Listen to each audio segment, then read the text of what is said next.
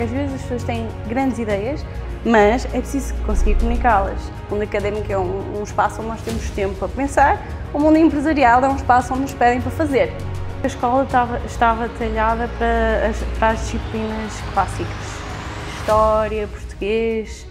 Portanto, eu não aprendi na escola a lidar com as minhas emoções. Depois, quando chegamos a uma empresa, nós temos que aprender quase do zero na prática o que nós efetivamente vamos fazer. Então, o que é que nós tiramos do mundo académico? Tiramos a parte do, da construção do espírito crítico. Tinha que se fazer uma revisão, honestamente, ao plano curricular. Há disciplinas que ainda não estão a ser aprendidas, como há duas que eu acho que são fundamentais: literacia financeira, desde pequeninos, a inteligência emocional. Pode estar integrada ou não noutra, não, não vejo porque não. A ideia é que as, as pessoas pensem por si próprias e que a escola dê espaço para que cada indivíduo se desenvolva enquanto ser individual que é. O autoconhecimento é autoconhecimento.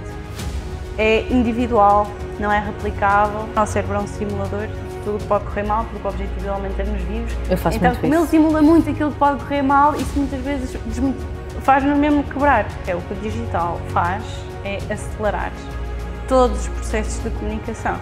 É surreal como o TikTok acabou por hum, democratizar esta competência do vídeo. A comparação pode ser uh, uma ferramenta de melhoria contínua ou pode ser uma, uma ferramenta de autossabotagem e de comparação.